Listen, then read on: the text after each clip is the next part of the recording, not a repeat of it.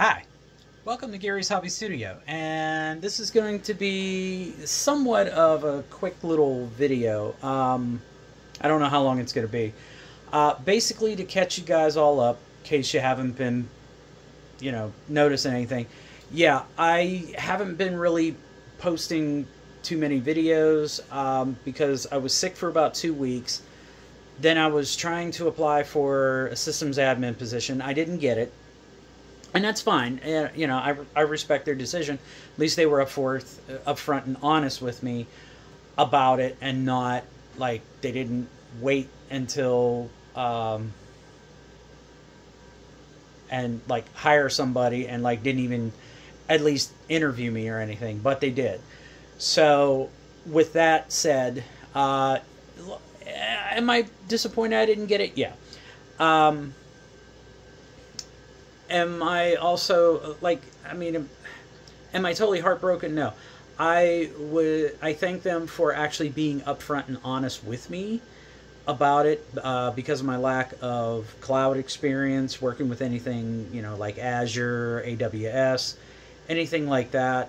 Um, you know, and that's fine. You know, I again, I, I respect their decision. I don't, um, yeah, I don't fault them for that they they do have a lot of projects coming up that they need somebody with that experience. And yeah i know what a lot of people might say and i'm even one of them too where it's like okay well how do you get experience without it? Uh, because i know that aws amazon has a free you know cloud-based thing but you have to supply them a credit card because if you go over they charge you.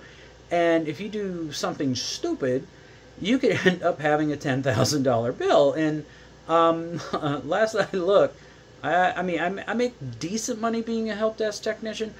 I do not make fan fucking tastic money making uh, being a help desk technician. So unfortunately, there's no way I could do the free.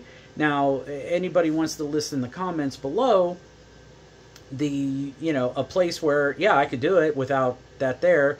They just you know limit me in what I can do, which I'm fine with it. Uh, you know, I mean, I'd like to get some experience with it because I would like to move up in my career. I mean, I've been doing total between my previous employments and, and this current one.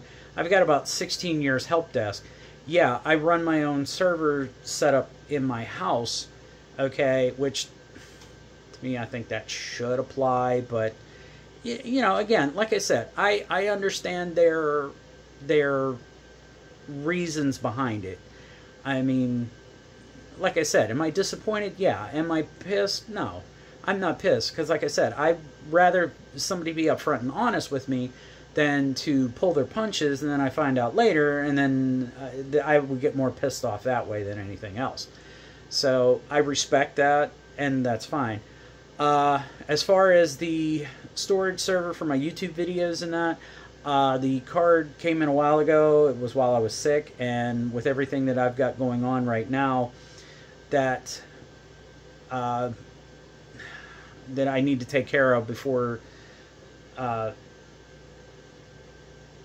that just needs to needs to get done, or a little bit more top priorities. Uh, I had to fix a drain gate. I was trying to have something delivered and that got all jacked to hell and back. Um, I'm gonna have to reschedule that, and I have to work on that.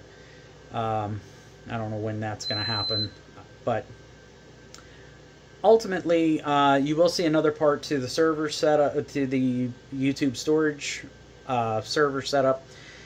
The the card's going to get swapped out, connected up, and other of those old drives are going to be put in because, like I said, this is just for build up and temporary configuration to see if if the if the things I'm setting up will work the way they are. If not, it'll have to be changed, and that's why I'm not permanently putting anything on that because I will need to buy new drives so that I can do that. Because not to say that those drives are not reliable, but eventually it's I mean those drives are fairly old. And at some point they are going to fail, and I really don't want to deal with it. Plus, not only that, I think a lot of them are SMR drives or shingled magnetic recording, And what that does is it stacks a layer and then on top of it another layer and another and another, kind of like the shingles on your house. And it takes a lot longer to rebuild when you have a drive failure. And there's a possibility you could have another or two fail. And even with a RAID level Z3, yeah, you lose three drives and you can have three failures without data loss. But what happens when you start rebuilding all three of those drives by replacing them, and then you have a fourth drive die? Then what?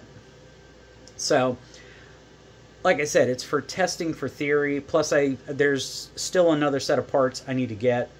Uh, I got to order those off of Amazon soon, and you'll see those too. And then once all the pieces are in place, then like I said, it's just buying drives to put in so that I can then store everything the way it should.